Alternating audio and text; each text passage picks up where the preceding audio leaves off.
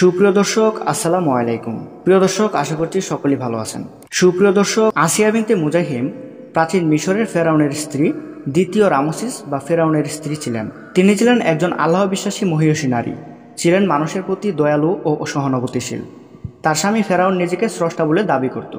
সে ছিল অত্যাচারী ও বদমেজাজি বাদশাহ। অহংকার, দম্ভ ও আহমিকায় পরিপূর্ণ ছিল মসনদ মানে ফেরাউন।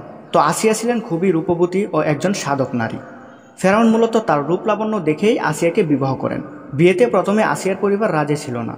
কেননা, ফেরাউনের জন্মের লজ্জাজনক ঘটনা তৎকালে সকল লোকেরাই জানত। কেননা, ফেরাউনের বাবা তার আপন বোনের সাথে অবৈধ সম্পর্ক গড়ে তোলেন। এক পর্যায়ে এই অবৈধ সম্পর্কের ফসল হিসাবে ফেরাউন নামক এক নিকৃষ্ট লোকের জন্ম হয়।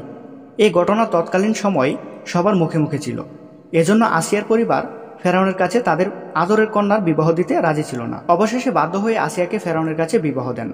কিন্তু মহান আল্লাহ রবুল আলমিনের ইচ্ছা ছিল ফেরাউনের মতো এক নাপাক ক্ষুদাদ্রোহী পূর্ণবতী জান্নাতি নারী আসিয়ার একান্ত সান্নিধ্য গ্রহণ করতে যেন না পারে। সেজন্য ঘটে যায় এক আলৌকিক ঘটনা। ফেরাউন বিবাহের পর যখন সে তার খাস কামরায় প্রবেশ করে, যখনই আসিয়ার প্রতি মনস্থ করে, তখনই সে সাথে সাথে একেবারে নপিংসক হয়ে যায়। কিন্তু ফেরাউনের তার অন্যান্য দাসী ও স্ত্রীদের সাথে সহবাস করতে কোনো ধরনের কোনো অসুবিধা হতো না। কিন্তু হরজত আসিয়ার ক্ষেত্রে এর ব্যতিক্রম হতো। সারাটা জীবন শুধু আসিয়ার রূপ লাবণ্য দেখতে হয়েছে। কিন্তু সঙ্গম করার সক্ষমতা ছিল না ফেরাউনের।